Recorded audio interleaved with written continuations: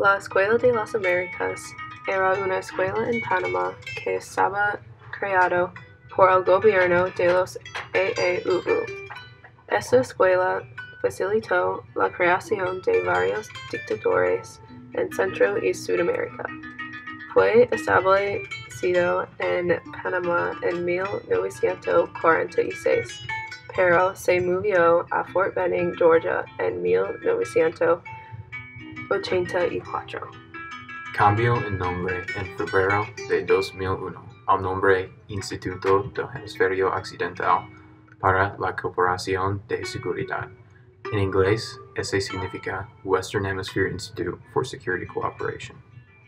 La escuela empezó en 1946 con la idea que los estudiantes combatirían espías de países comunistas y soldados guerrillas en sus propios países.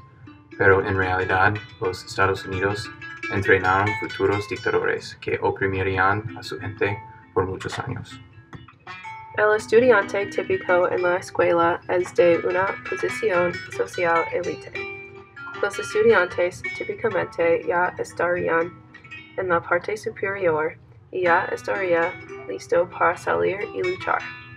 La CIA entrenó a estos estudiantes en tácticas de interrogación y armas.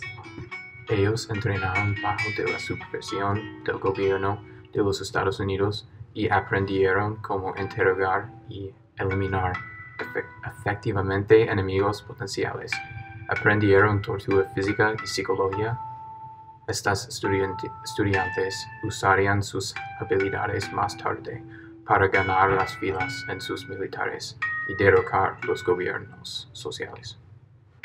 Algunos ejemplos de personas los que estudiaron y se graduaron de la Escuela de las Américas son Manuel Noriega y Omar Torrijos de Panamá y Leopoldo Fortunato Galtieri en Argentina.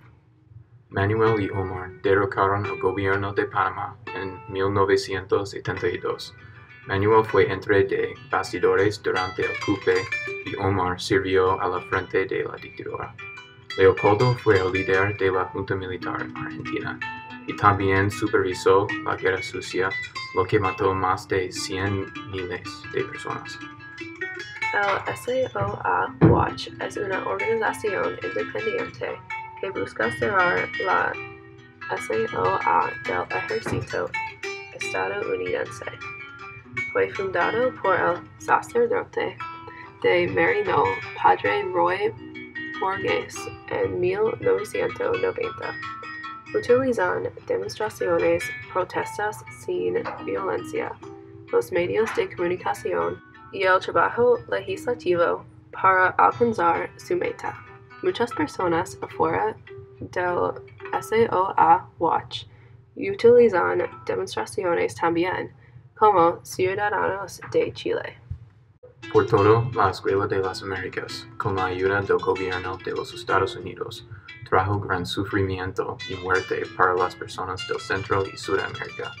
Bajo el disfraz de una organización comprometidos de la democracia, cometió actos de injusticia a su propia gente y empezó una época de dictaduras y corrupción del gobierno.